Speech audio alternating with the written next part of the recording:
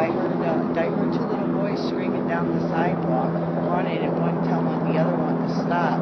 They were running across the front of the firehouse, and a black car had pulled up to the firehouse, and the little boys were running, screaming. One of them on a skateboard, and then I saw the police department go up, like seven or eight police cars, and then within 45 seconds, I heard a bunch of sh- uh, like shots going off, and um, the little boys were running, and then a gentleman come up the road looking for his two little boys.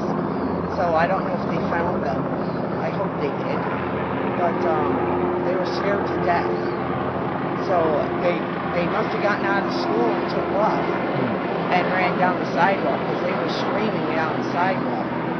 And uh, from there, all this, all the police started coming, and that's about it. That I, that all this has been going on since.